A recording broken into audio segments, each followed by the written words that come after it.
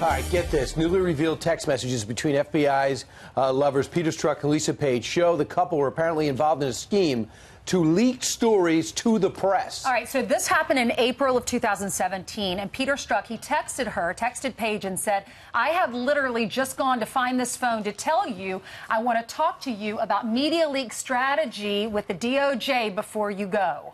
Is that legal?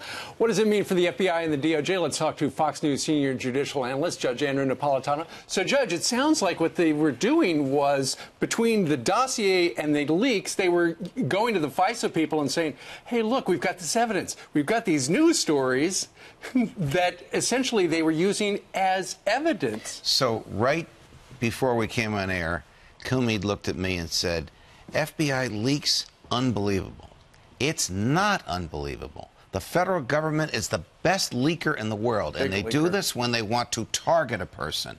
Who do they target? Their boss, the President of the United States, by leaking information to the press and then using the press sources as a basis to get a FISA warrant. This was in 2017. Correct. I have been a critic of FISA for 40 years. You it's been around since 1978.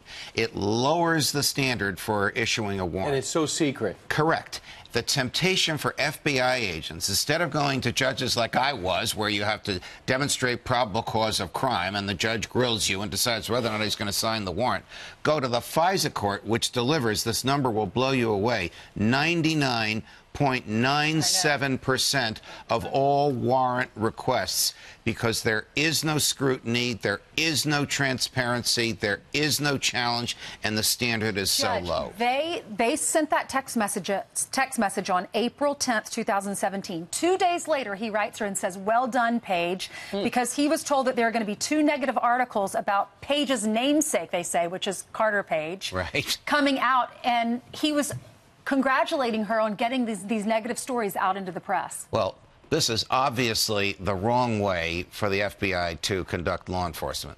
Here's what a lot of people probably want to know. Is it a crime? Depends on what they leaked. If, sure. if they leaked secrets. secrets, grand jury information, they can be prosecuted. He might sue. Yes. All right.